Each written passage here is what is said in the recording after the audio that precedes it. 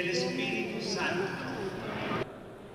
Moisés se cubrió el rostro porque tuvo miedo de ver a Dios. Con clara conciencia, también pido perdón por mis debilidades y mis flaquezas y estoy confiado en la misericordia de Dios.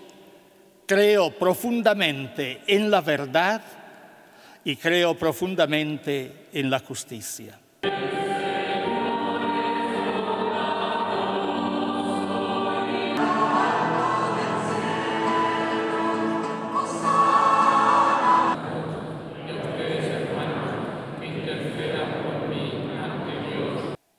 De un modo especial, atenderemos y serviremos a los que sufren el atropello a su dignidad de persona, resultado de los abusos y delitos absolutamente injustificables y absolutamente intolerables por parte de clérigos. No bastan retoques de maquillaje, necesitamos reformas y cambios profundos.